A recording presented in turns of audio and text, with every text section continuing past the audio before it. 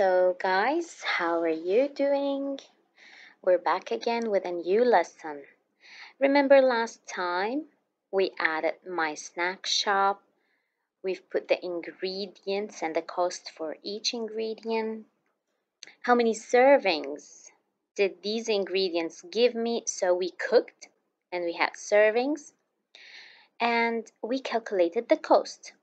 Today I wanted to explain to you the cost again so that you understand how can we get the profit.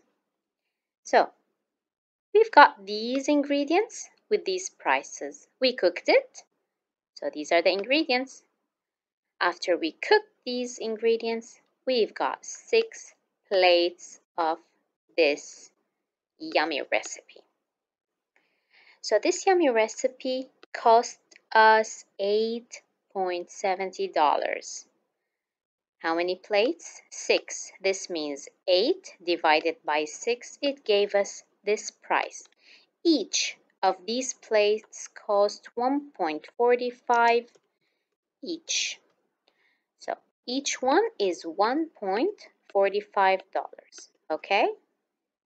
The cost, the total 8.70.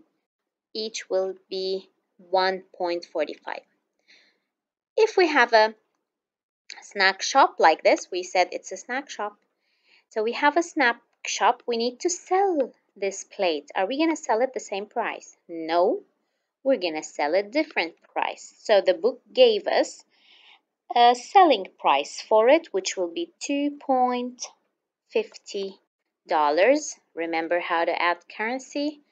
Gonna add, sorry, not percentage, dollars. Okay, so we're gonna add it as a. So what will be the profit? We're gonna learn more formulas to do. Starting with, remember, equal. The profit will be the selling price minus the real cost. I decided to sell it this way. Maybe I want to sell it for $3, for example. Let's put undo, erase. I want to sell it for $3, okay? So let's see.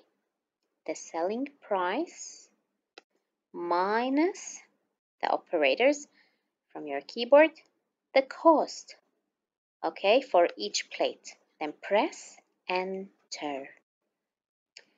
So this will be my profit. All right. If it was like this, 2.50, as in the book, the profit will be this way. See, it changes whenever you change it. I will sell it for $5. Oh my God, I want more money. How? My plate profit is 3.55. This is incredible.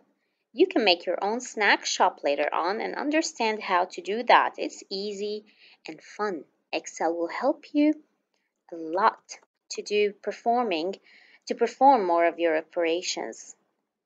So I hope you understand this lesson. And I want you to try out adding another sheet, all right?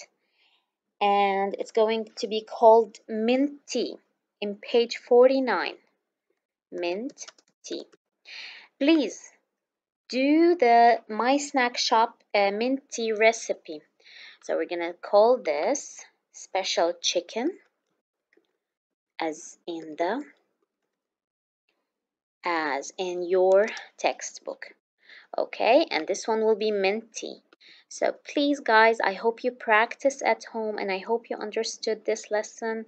It's very easy, very simple. Just keep following up all the lessons and everything will be fine. If you have any question, please post it down below in the comments. Thank you. Please like this video and subscribe to Computer Ideas for Kids.